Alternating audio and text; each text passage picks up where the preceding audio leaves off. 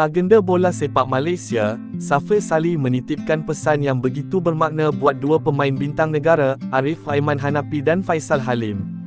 Bekas bintang JDT itu memberi panduan berguna kepada dua bakat muda negara dalam merancang perjalanan bola sepak mereka. Katanya, dua pemain ini perlu lebih berhati-hati dan membuat percaturan yang tepat dalam menentukan hala tuju mereka. Hal ini susulan prestasi memberangsangkan Arif dan Faisla bersama kelab masing-masing dan juga ketika mewakili Harimau Malaya, Safa merasakan keputusan untuk berhijrah ke luar negara perlu diteliti sebaik mungkin. Bagi saya jika mahu beraksi di luar, mereka perlu lebih berhati-hati. Mereka di sini bermain dalam kesebelasan utama pasukan dan pada saya, minit permainan amat penting.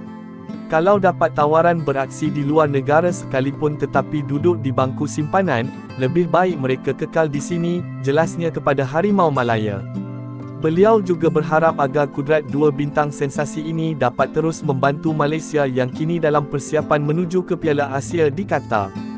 Sebagai rekod, Faisal kini sudah menjaringkan 8 gol dan 8 bantuan gol sepanjang musim sungguh pun berdepan penggantungan manakala Arif menjaringkan 6 gol dan merekodkan 10 bantuan gol setakat ini.